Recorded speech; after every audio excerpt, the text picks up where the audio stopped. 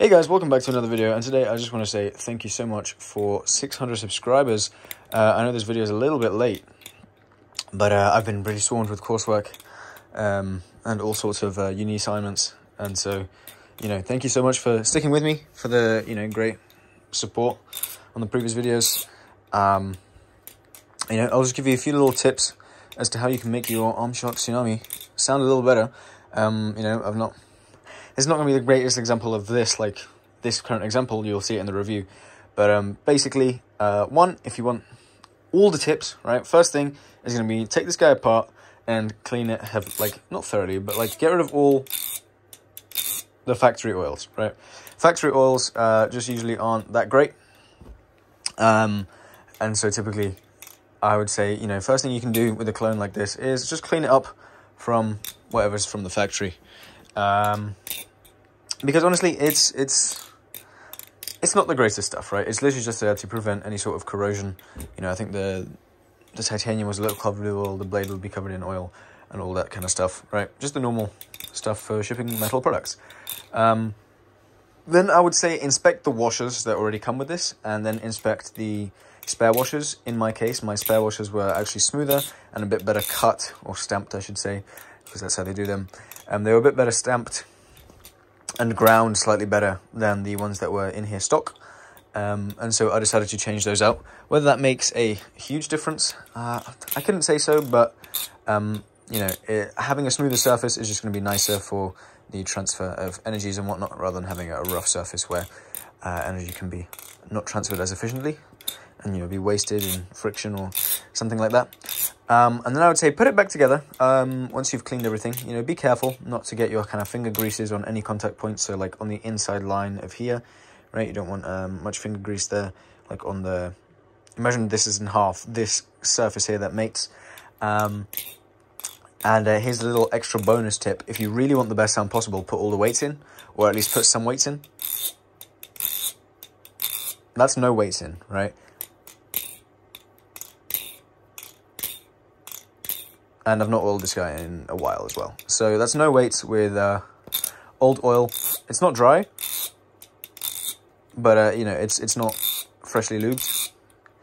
Um, and so yeah, if you have some stainless washers though, I'm gonna see if I have some that will fit in it, because uh, dude, I, this thing on stainless washers is gonna be just nice. Um, or maybe I'll have to buy some.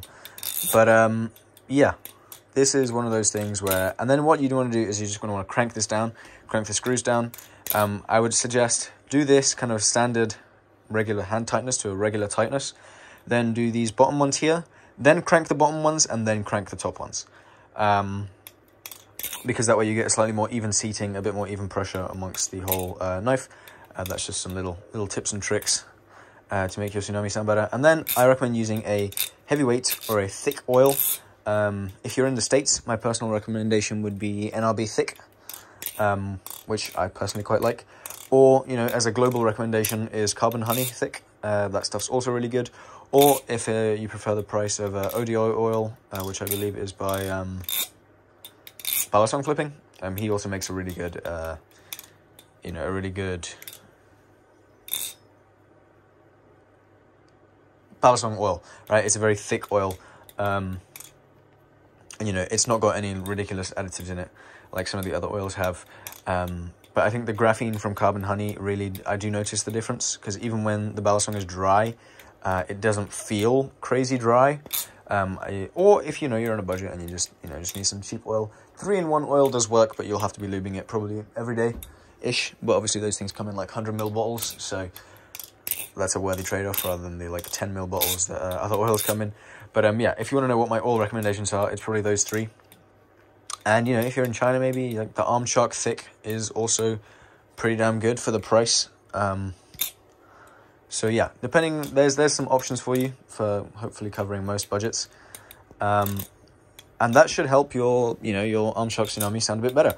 Hopefully restocks are coming soon. Um, it's been a few weeks now.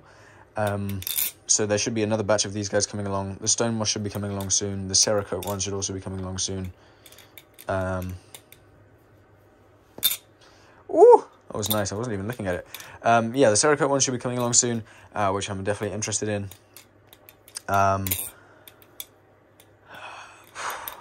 and yeah, man, just thank you guys so much for 600 subscribers. I think we're at 620 or so, 30.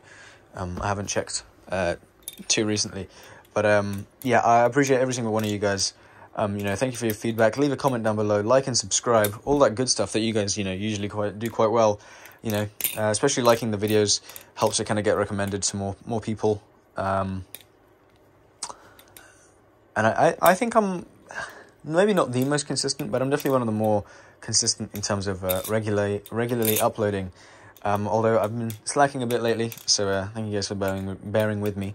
Um, Balisong channels out there. You know, I like to get my, my content out. Um, but I also want to try and provide something of, of service to you guys, right? Which is why, you know, I'm giving you tips here, which, um, you know, not many people... And that would, by the way, apply for kind of any Chan Balisong in terms of the tightening order.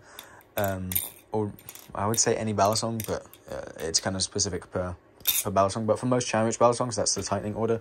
When you want to do your pivots, uh, bottom ones, and then crank the bottom ones, crank the pivots. Um, yeah, just, or like you can tend to crank them evenly, right? Seat them evenly so you get as, as good of a contact point between the two edges as you can. That's how you're going to get the fullest sound possible. And I just love how quiet this is. But yeah, I cannot stress enough how much uh, I appreciate each and every one of you guys um, watching the videos, leaving comments down below, liking the video. You know, supporting channels in, in little ways like that uh, is kind of huge. Um, and uh, yeah, I hope I can you know keep providing you guys with, with more and more content. Hopefully, the watch hours are you know they're slowly going up, which is good. Um, hopefully, I can start monetizing the channel. Um, you know, within the next six months. Uh, maybe even by by well, February is optimistic. By February is optimistic, but uh, you know, the plan is at least to uh, have something kind of in the works by then, um, where I can maybe be financing the channel a little better. Uh, and so, yeah, thank you guys so much. Uh, I appreciate all of you guys. And uh, I'll catch you guys in the next one, which that's a good question as to what it will be. Let me know, guys, in the comments what you want to see down below. If you've made it this far, you guys are the real MVPs. You know, watching seven minutes of me basically blubbing along whilst flipping this pretty cool Balisong. I wish it was slightly longer.